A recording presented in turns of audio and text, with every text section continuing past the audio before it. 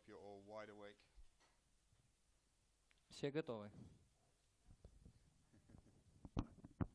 I know it's tough in the evenings, but uh, Я знаю, что вечером тяжело,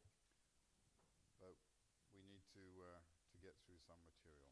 но нам придется Okay, we пройти. were in материал. Acts chapter 2, Мы останов- остановились на деяниях второй главе. okay, and we've been talking about the results of Peter's sermon. И мы говорили о результатах э, проповеди Петра.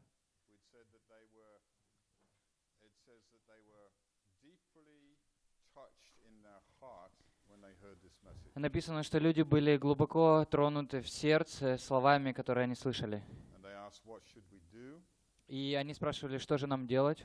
And as we discussed yesterday, Peter said you need first of all to repent, to change your mind, И как мы вчера обсуждали, Петр сказал, что в первую очередь нужно покаяться, изменить свои мысли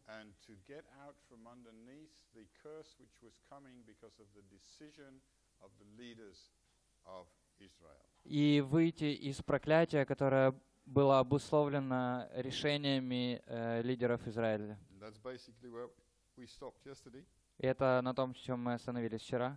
So we'll continue. The second thing that they had to do was to be baptized. И второе, что нужно было сделать, это крещение.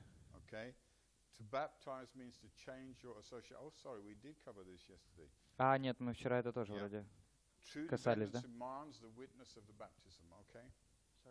dependence demands Э, покаяние требует свидетельства крещения.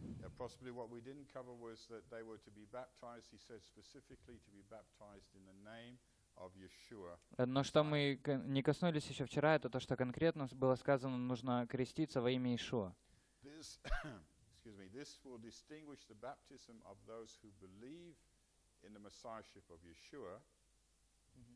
From all other baptisms.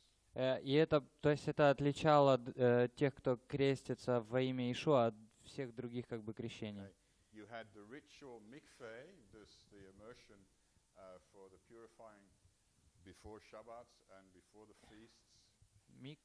микве? Yeah. Окей. Um, so that was the ritual immersion that the Jewish men went through No. before the Это был э, обряд э, омовения миквы, который предшествовал шаббатам.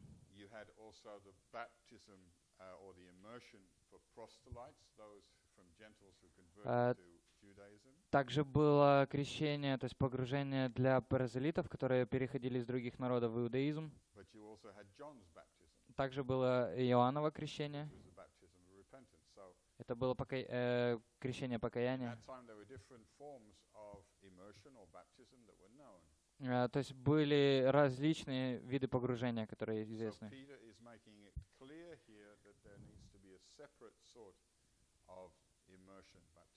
Э, И также, ну это как бы такого emotion, Immersion baptism. like in mind, you mean? No, no, no. Immersion to be pushed А, the yeah, okay.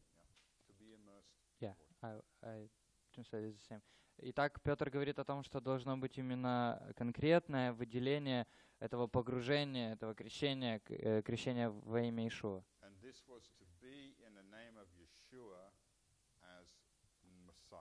И это значит э, крещение во имя Ишуа Мессии именно. Okay. Um,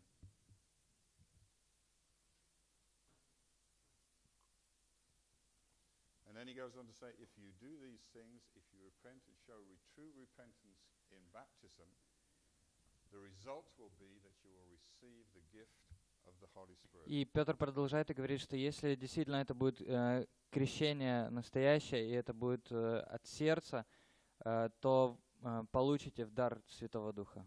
Now, on occasions, we have today people who receive the Holy Spirit before they're actually baptized, but um, Но есть случаи, когда люди э, получают крещение, э, получают Святого Духа еще вот до крещения во имя Ишуа, но как бы нормальный порядок такой, что сначала крещение во имя Ишуа, и потом получение Святого Духа. Но, опять же, конечно, нужно помнить, что Бог, Он является э, тем, кто решает, как это будет происходить. Okay, but in principle, forgiveness will be followed by the gift of the Holy Spirit. То есть э, прощение, покаяние и прощение, за этим следует дар Святого Духа. After this, in verse 39, Peter again goes on to tell them the promise is for you, for your children, and for all those who are even far away, as many as Adonai will call. Эм, В 39 стихе э, говорится, «Ибо вам принадлежит об- обещание и детям вашим, и всем дальним, или тем, кто далеко вне Израиля, э, кого не призовет Господь Бог наш».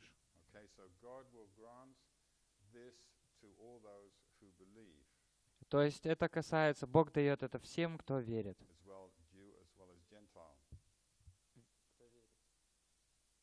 Эм, Как э, язычникам, так и иудеям. Um, from the divine side, this is what is called the divine calling. А с- Как бы с точки зрения Бога это называется Божьим призванием или призывом.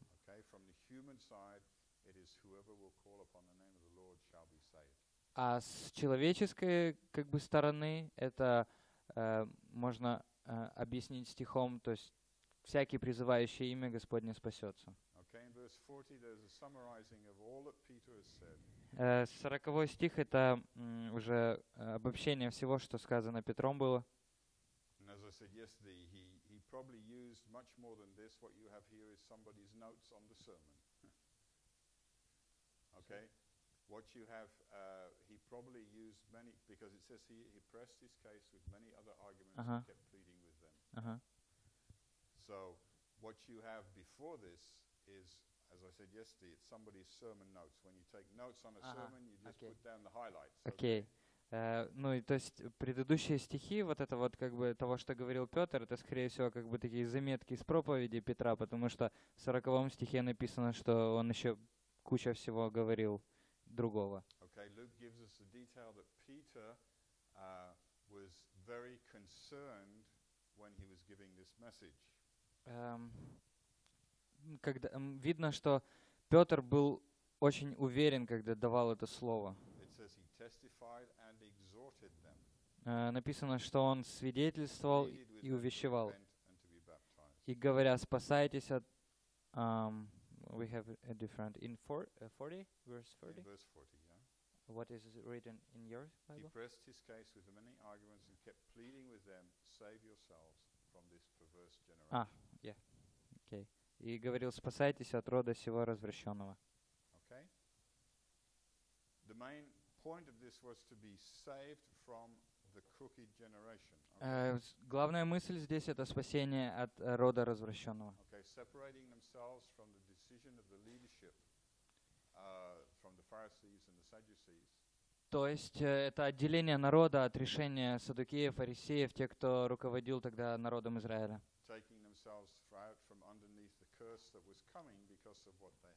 Э, И таким образом это было призывом выйти из проклятия, которое приходило на Израиль из-за решения как бы тех, кто находился во главе Израиль, Израиля тогда, за то, что они сделали по отношению к Иешуа. Okay. Вчера больше обсуждали это. Okay. Um, in verse 41, 41 стих. Мы видим ответ. Ответ на эту проповедь. They received the word, it says. They believed and they repented. Uh, we have even willing, willingly. Hmm? We, we have in our trans- translation we have word will, willingly. Yeah, Мгм. that's okay. И написано, что они охотно приняли слово и к- э, его и крестились. Okay. Tha- and then they were baptized. Мгм. И пот- м, то есть приняли слово и signifying that крестились. То есть они таким образом отметили, эм, заявили для, для, для мира, что они отделяют себя для Ишуа. The amazing thing here, it says about 3,000 were saved. И удивительно, что тут написано, что в тот день целых три тысячи человек спаслось. I, I, I would love to have that experience of preaching one message and 3,000 people coming to the Lord. Я бы хотел, чтобы у меня был такой опыт, что от моей проповеди три тысячи человек спаслось. Okay, we do see now in some countries where people do in great numbers accept the Lord, but it's very rare in Europe at least. Мы видим это в определенных странах, но это очень редкое явление в Европе. Okay. Um, some would ask the question, how could they baptize 3,000 people? М, Некоторые задают вопрос, как могли креститься 3000 человек? okay, but there were many pools in Jerusalem. Ну, в Иерусалиме было много бассейнов, As we saw earlier, it was only 9 o'clock in the morning, и это всего было 9 утра. so they had a whole day. И у них был целый день, чтобы покреститься всем. And uh, I, I believe that the, all of the apostles would be involved in that baptizing continually. Верю, что все апостолы участвовали в этом событии, в крещении. Okay, finally, in verse 42, 42 стих. Мы видим, как э, эти вещи еще развивались дальше. Okay, verse 42 shows basically discipleship. Мы видим э, ученичество э, и нужда в ученичестве. Иногда в современной церкви это очень, этого очень сильно не хватает. И люди приходят к Господу, но они как бы находятся в подвешенном состоянии. Uh, um. Я верю в такой фактор ответственности. Когда мы приводим кого-то в царство, мы становимся ответственными за этого человека.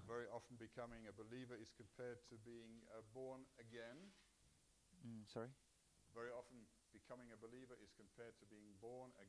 То есть. Э, как бы, когда человек становится верующим, это часто сравнивается с э, рождением заново. Okay, Такое есть выражение, что ребенок в Господе, в Мессии.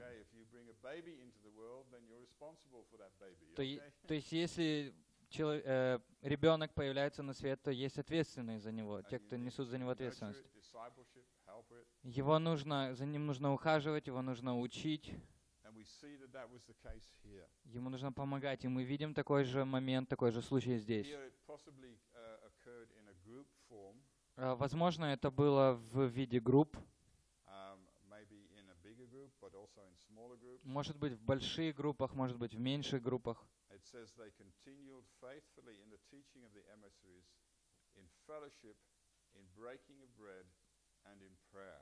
Uh, can you read it again? Because we have a, a little bit different They continued faithfully faithfully. in Ага. teaching of the emissaries or the apostles, Мгм.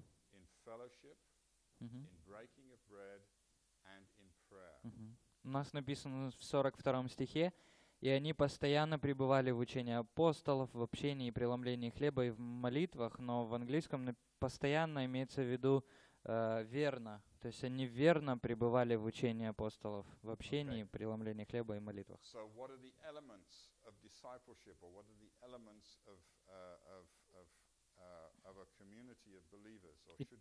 Итак, элементы э, общ- э, общины или элементы э, ученичества.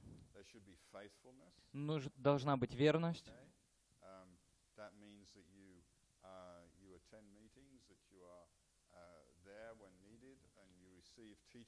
То есть мы должны посещать э, те, те моменты общины, э, которые проходят, там молитвы, встречи.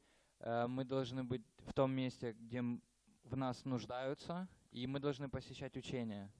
My personal opinion, there is a um, a lack of faithfulness or dedication in the church today. Я думаю, что сейчас, то, что я вижу в современной церкви, есть э, нехватка посвящения или верности среди верующих, среди тела Христа. Um?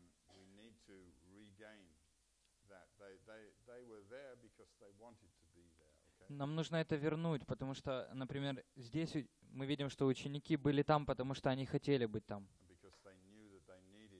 Uh.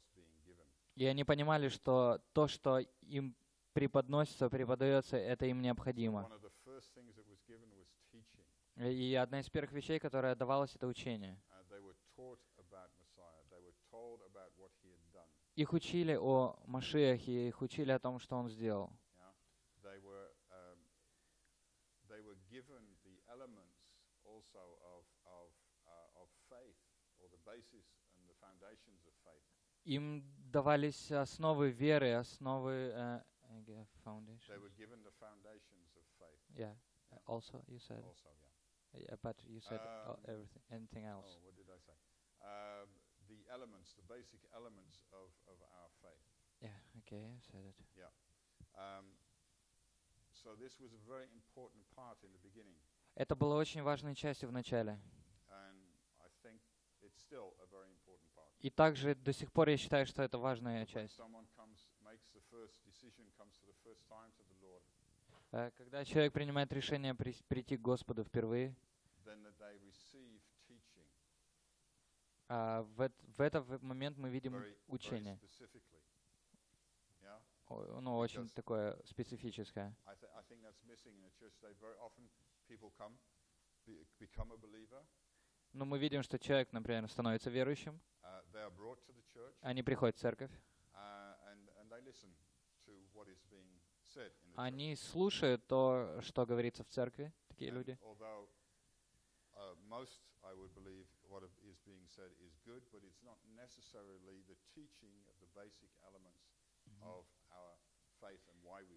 И я верю, что большая часть того, что преподносится, преподается, о чем говорится, это важно, но это не, не всегда или редко являются де- действительно основами веры, которые важны для новообращенных. Э, большинство проповедей это не систематическое учение.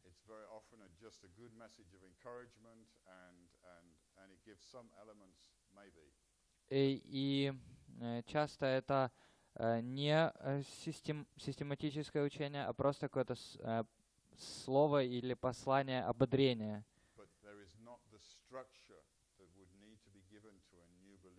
Но это не структура, которая должна даваться новообращенному. Когда есть маленький ребенок, то мы начинаем его учить. You instruct it, you, you help it to learn to walk and to Объясняем что-то, учим ходить. Э, Точно так же и духовно.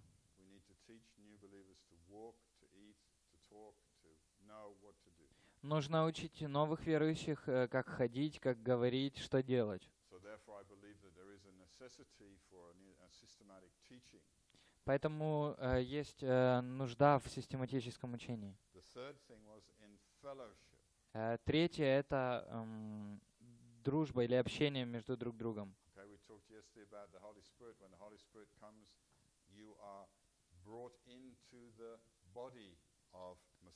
Когда приходит Дух Святой, то э, происходит такое вовлечение в тело Мессии.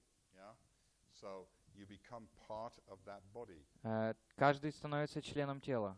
Now, that means you fellowship with that body. То есть получается, что есть э, взаимодействие с телом. И нам это необходимо. Это очень важно.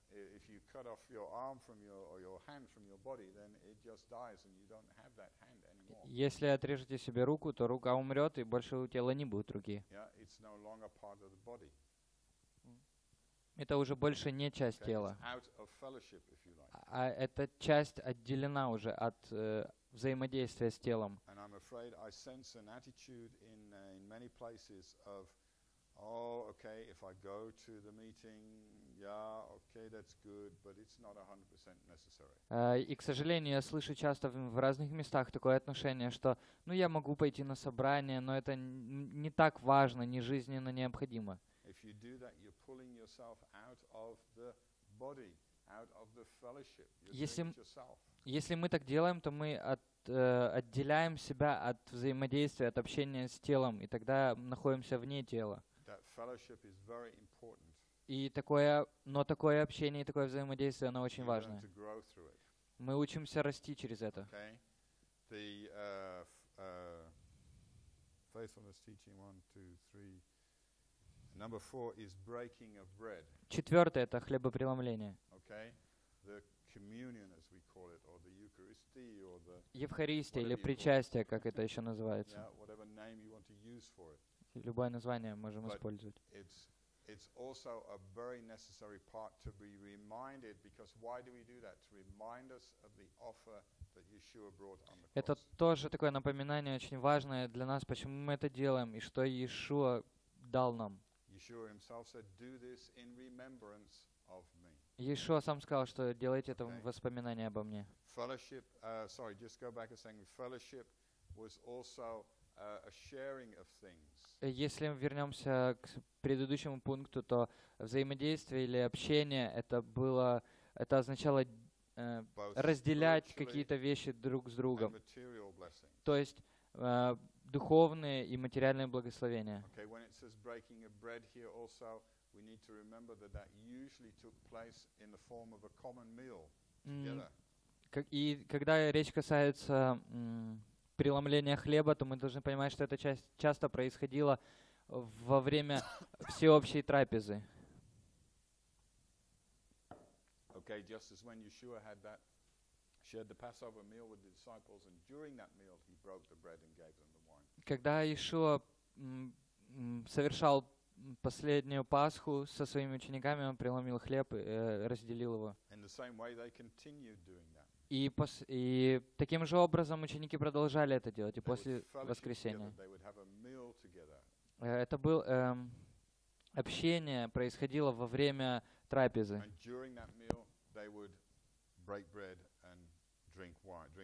И во время трапезы происходило преломление хлеба и м, пили э, чашу. Okay, the fourth, uh, the other, Вино. the last area, the fifth area, the discipleship of the discipleship was prayer. Э, И пятый момент э, ученичества — это молитва. In the early church, there was a great emphasis on prayer. Эм, В ранней церкви очень большое ударение было на молитву. They probably still followed the um, the normal temple order of uh, times of prayer. Возможно, э, они даже следовали э, обычному заведенному в храме порядку молитв. И они продолжали таким образом молиться. group. И личная молитва, и как в группе. Prayer, therefore, was an, uh, a very important element in the first century church, if you like. Молитва была очень важным элементом в церкви первого столетия. Okay. Uh, the second result of Peter's sermon is Ah. the establishment of the local community of believers. Второй результат молитвы Петра, э, при- э, проповеди Петра — это э, то, что организовалась первая община. Yeah. Um, there was also um, describes the state of that at that particular moment. Э, Также описывается состояние в этот определенный момент.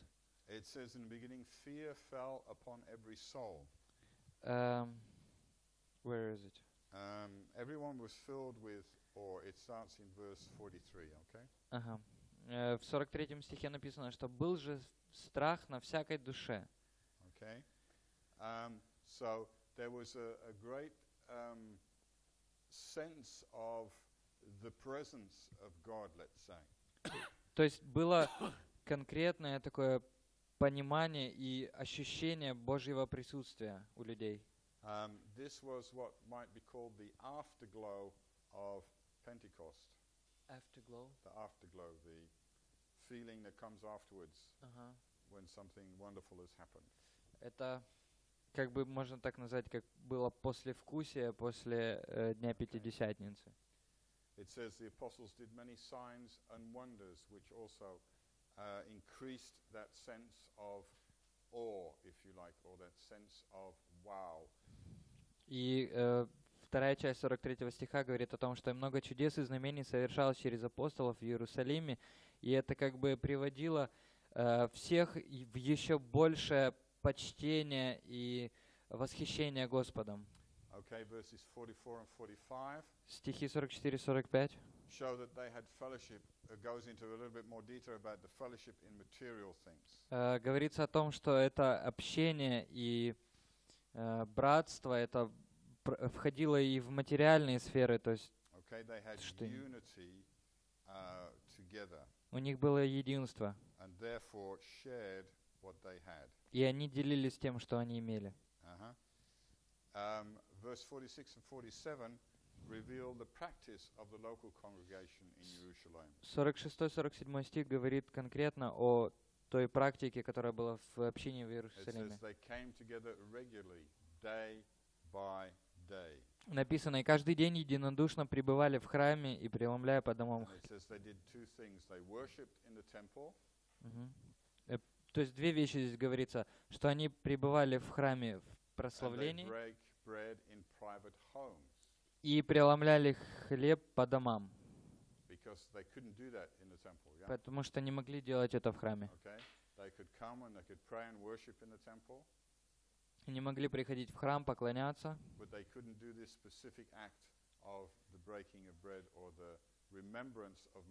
но преломлять хлеб они там не могли в воспоминании о Мессии. And it says their reputation spread everywhere. И написано, что как бы свидетельство или репутация об общине распространялась везде.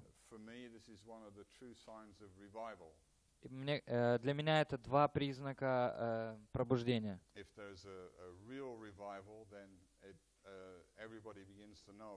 Если есть действительно настоящее пробуждение, то каждый знает об этом. um, um, the local community.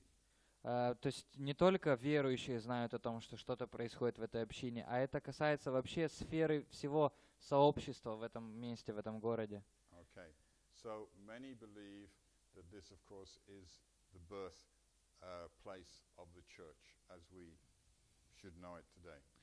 Э, it's birth? Yeah, Uh-huh. this time was the time of the. Э, И многие считают, по праву считают, что это было как бы рождением церкви, первой церкви. Okay, um, we will move on to chapter 3. Теперь глава 3.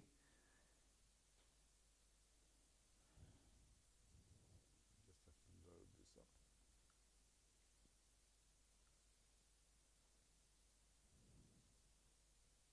Okay. Um, what we have here in chapter 3 is the witness of Peter and John Э, Здесь описывается свидетельство Петра и Иоанна and the second sermon of Peter. и вторая проповедь Петра. Okay. Um, actually, this covers verse, uh, chapters 3 and 4. Вообще, как бы это покрывает и, и четвертую главу еще. Okay, we saw in, at the end of Acts chapter 2 that people were filled with all and many miracles and signs took place. Okay? Мы видим во второй, в конце второй главы, что э, люди были под впечатлением от чудес и знамений. Okay, the two chapters, chapters 3 and 4, comprise one unit of the book of Acts. One section, one. Yeah. They belong together. Yeah, I mean, just repeat that, please, again. Okay, the two chapters, Ah, three and four? Acts 3 and 4, Ага. comprise one unit of the book of Acts. Окей. Э, глава 3 и 4, они представляют собой как бы определенный раздел книги Деяний.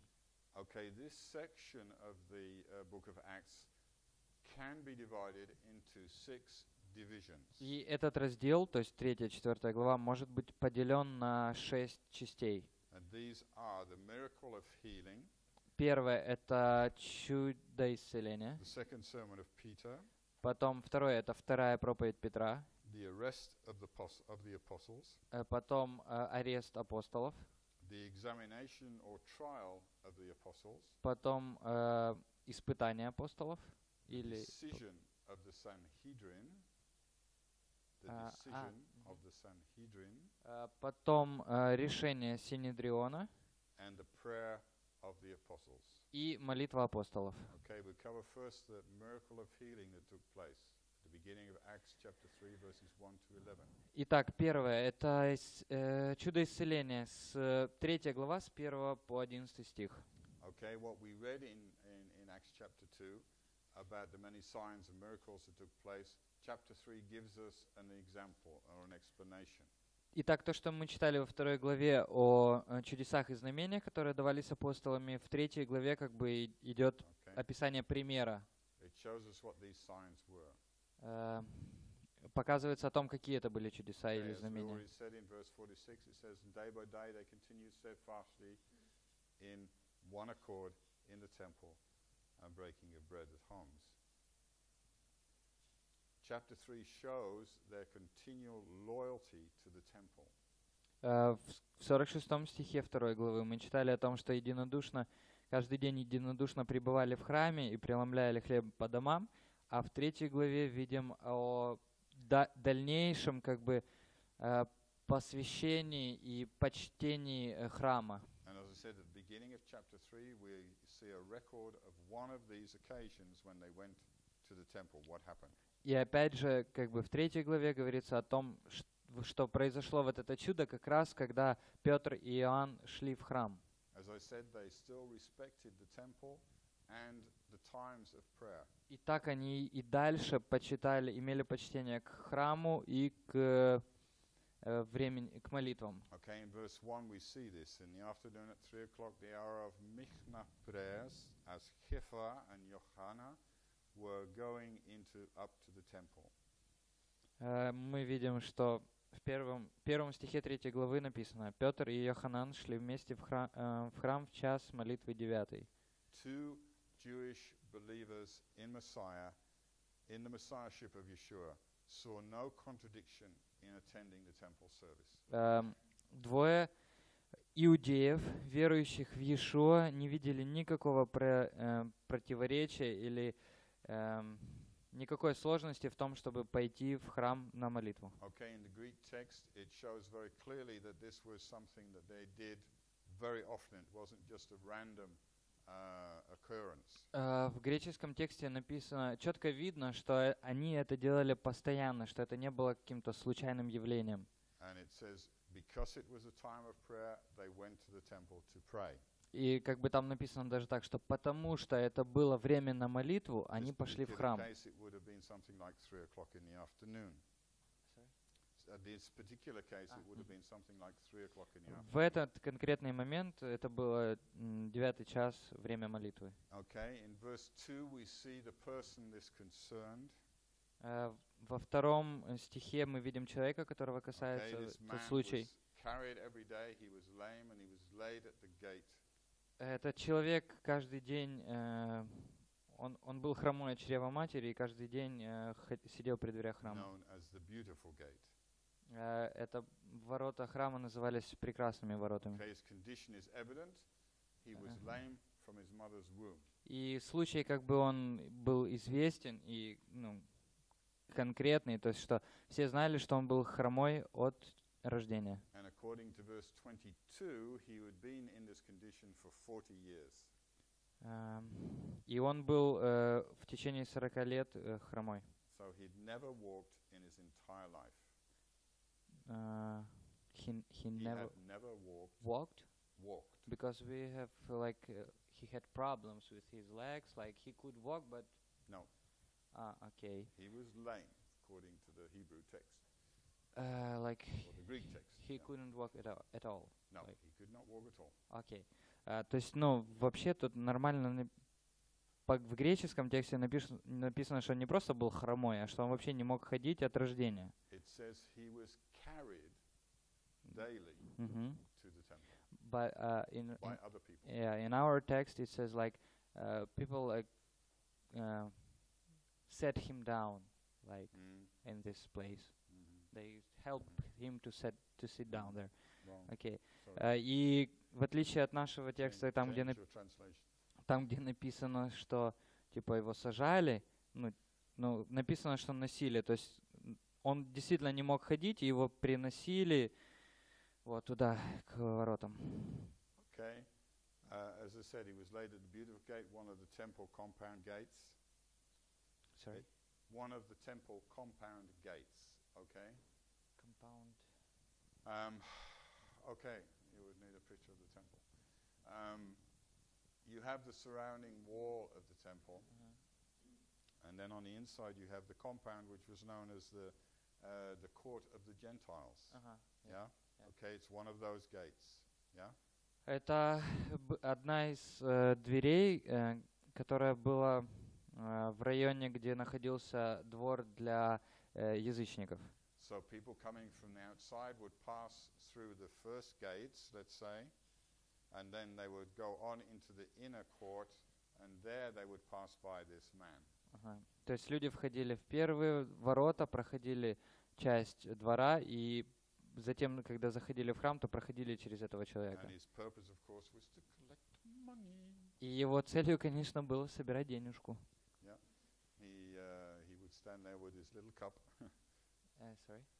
Э, И он сидел с такой маленькой чашечкой. И он очень такое делал лицо такое страдальческое, милое, чтобы день, денежку ему давали. Peter and uh, Peter and John were going into the temple. И Петр и Иоанн, они, заходя в храм,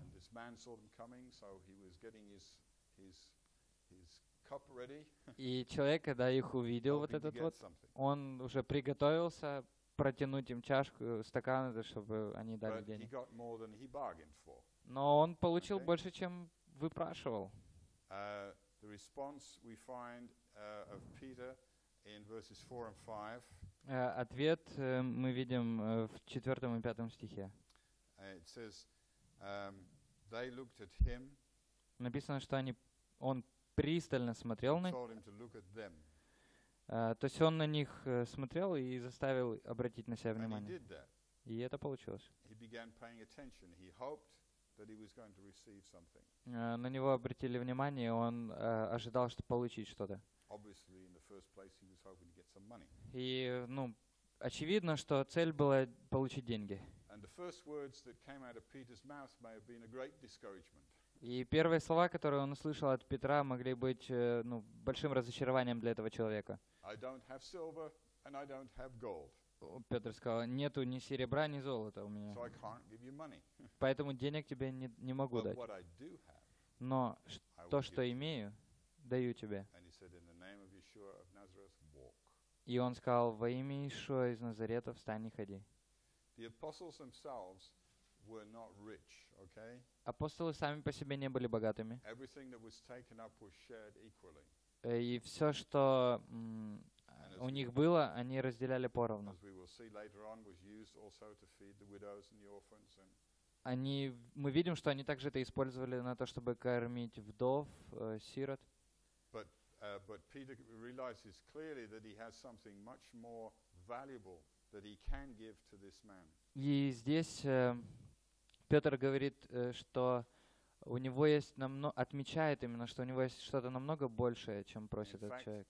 Peter uses the name of the Messiah as authority, И Петр использует имя Мессии как авторитет. okay, to uh, to tell this man it's in the authority given to me. И он, как бы, другими словами, Петр говорит, что я делаю это в авторитете того, кто, в авторитете- э, в авторитете той личности, имя которое он использует, и говорит, что во имя этой личности ты можешь ходить.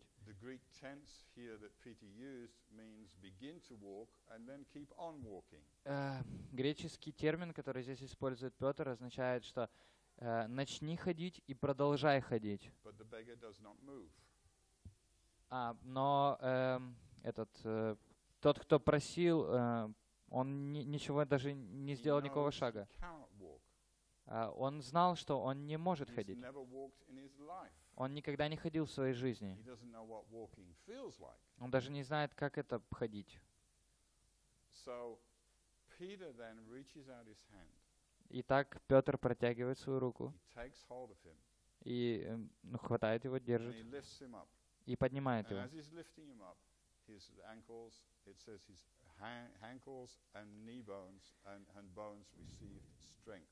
И как написано в седьмом стихе, и вдруг укрепились его ступни и колено. То есть Петр сделал э, дело, э, э, совершил такую, э, помог ему, в общем. То есть он не просто сказал, давай, вставай.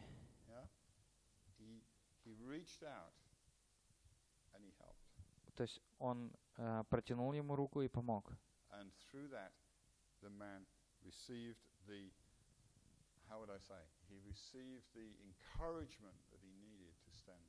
И через это действие Петра человек получил это а, м, ободрение, что он может ходить. Okay, the result was immediate.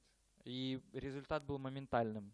Okay, and um, maybe just one one example here. I was once in a meeting, and um, Есть небольшой пример. there was, um, it was in Africa, it was in Nigeria, На одной из встреч, это было в Африке, в Нигерии, and there was a there is a man there who uh, who has a very был человек, у которого реально очень серьезное такое служение исцеления. Um, wheelchair, Там находился человек в инвалидном кресле. uh.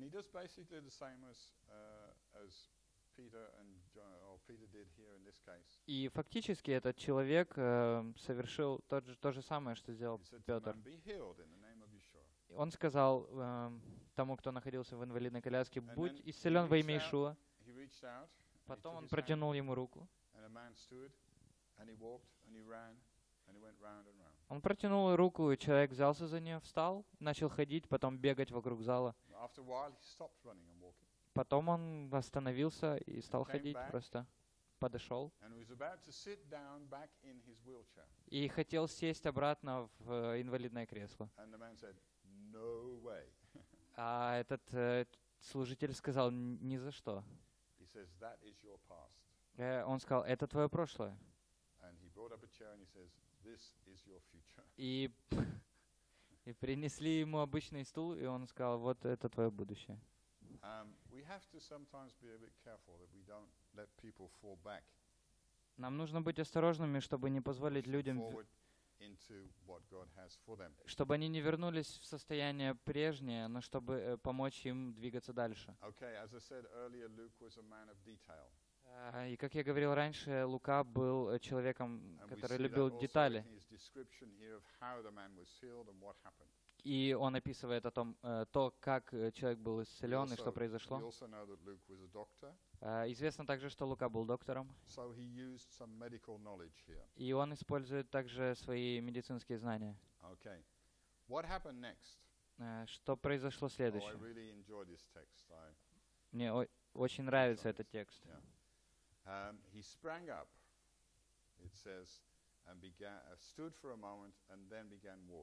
Э, Написано, что «и вскочив, стал и начал ходить». And he entered the temple with them, walking and leaping and praising God. И вошел с ними в храм, ходя и скача и хваля Бога. Okay? Um, now, when we receive something from God, Когда мы что-то получаем от Бога, then I think we need to uh, express that also. мы также, я, я верю, что мы должны это выразить. Okay? This man expressed it. Этот человек выразил это. Oh, thank you, God. Он не сказал, о, спасибо, Боже. That's good, but Это хорошо. Но не помешает побольше энтузиазма. Um, sometimes we see that even on a natural level when we get a present, Э, when we receive a present, when someone gives us a gift. Мы видим это даже вот на таком бытовом уровне, что когда нам что-то дарят, какой-то подарок, There, there can be different reactions. Бывают разные реакции на подарки. Э, э, Я лично очень люблю дарить подарки детям, because they react in a very uh, enthusiastic way потому что они реагируют очень с большим энтузиазмом, ну, в большинстве случаев. Okay? Because they don't have the restrictions that we do. You know, as as as adults, we uh, we we tend to be a little more reserved, maybe, in our reactions. А, то есть, ну, они, в отличие от взрослых, не сдерживают своих эмоций так сильно. But children are spontaneous. И дети более спонтанные. Мы у них мы должны учиться у них спонтанности больше. Yeah. Okay. Um, um, the only time there is there is one time when uh, when this happened. Uh, my eldest grandson, Aaron. Мой старший внук Арон, It was Christmas, э, э, когда было Рождество, and he had asked for um, um, uh, a racing car circuit. You know what I Uh-huh, mean? An mhm. electrical racing car. Он попросил о машинках с дорогой на батарейках. И ему купили вот эту трассу с, с but we машинками. also wanted him to learn to ice skate. А мы также хотели, чтобы он научился кататься на коньках. So we'd bought him um, uh, a set of ice skates also Uh-huh. for Christmas. И также подарили ему коньки. You mean for skiing? You mean No, for skating on ice, skating on ice? on ice. Yeah, I understand. Okay. You've never seen them skating? Yeah, on, yeah, I saw that, but okay. ice? What's the matter then? I thought it it's called. s- Oh, okay. no matter. Ну да, коньки, правильно. Okay, so um, um, now the the box which the ice skates were in looked very nice and very. Uh, uh, it looks it looks quite large. Okay, Ну и коробка вот эта для коньков была такая большая. And being a child, he likes to open the uh, И как ребенок он хотел вначале открыть большую коробку. So with great enthusiasm, И с большим энтузиазмом. he starts to open this box, И он начинает открывать эту коробку. and then he lifts off the lid, И э, снимает э, вверх. and his face drops half a mile. И его лицо просто ну, шокировано. Раз- С таким разочарованием. Что это такое?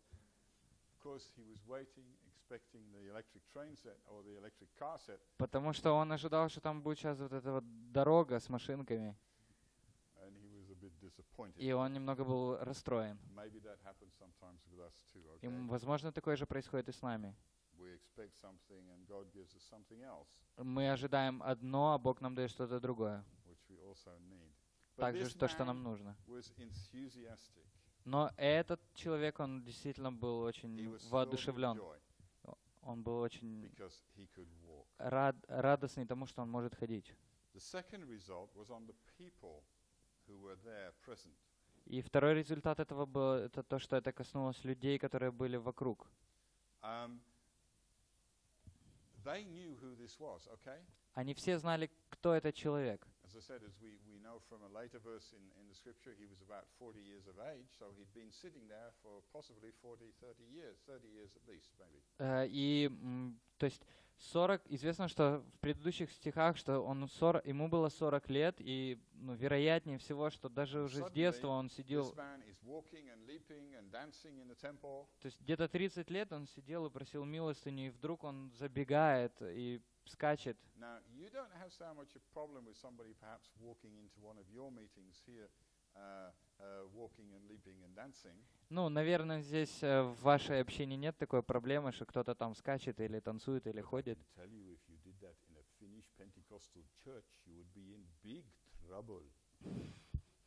Но я вам скажу, что если, например, в какой-нибудь финской пятидесятнической церкви вы такое будете делать, то будет у вас проблемы. So, Я не знаю, как было в храме заведено,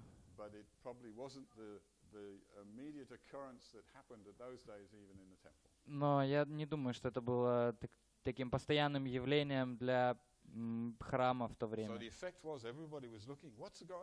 И эффектом было то, что все начали обращать внимание на то, что происходит. Этот Человек, э, вспом- м, he's подумайте, этот человек. Ра- полный радость, счастья, он смеется, он радуется, и он, ну, просто Okay? не контролирует. И фарисеи, и садукеи смотрят с большим удивлением на него. Okay, but um, so there was great surprise Так было большое удивление у всех. Okay, it was a it had a very specific effect on the people who saw it. Это было, это имело очень большое влияние на людей, которые видели это проис- то, что происходит. Они начали бояться, ну, кое-чего. They understood, hey, this is the guy who has just been l- sitting at the gate who couldn't walk. Они понимали, что, э, стоп, это человек, который сидел вот только у ворот, который не ходил. And they began to understand that something had happened. И они понимали, что что-то произошло. together, А, ань- написано, что они собрались, and they held on to them, onto him or onto them, uh, Peter and John. Which verse? Okay, Which we're ver- in verse verse? 11. 11. Mhm. Uh, they, they, what, what did they do? You say? Um, as he held Peter and John, this the man, Mhm. the man who had been lame, he was holding on to Peter and John. Look Mhm. what these guys have done. You know what has happened to me. Мгм. So.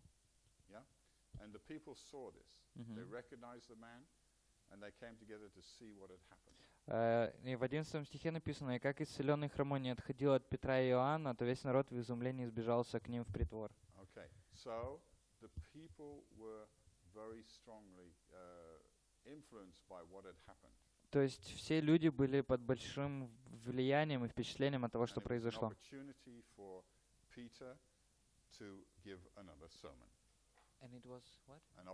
А, for И это, и это было хорошей возможностью для Петра, чтобы э, вновь проповедовать. Итак, сейчас перерыв.